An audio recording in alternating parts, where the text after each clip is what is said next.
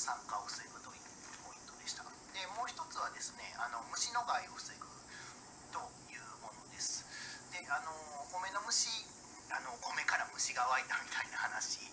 えー、聞いたことあったりまあお家でも、えー、見たことある方いるかなと思うんですけれどもあの虫ですね。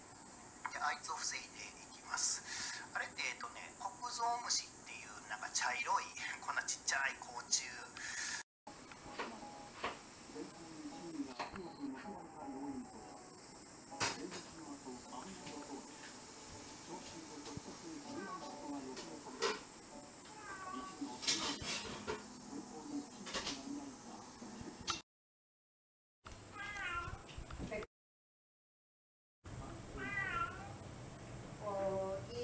し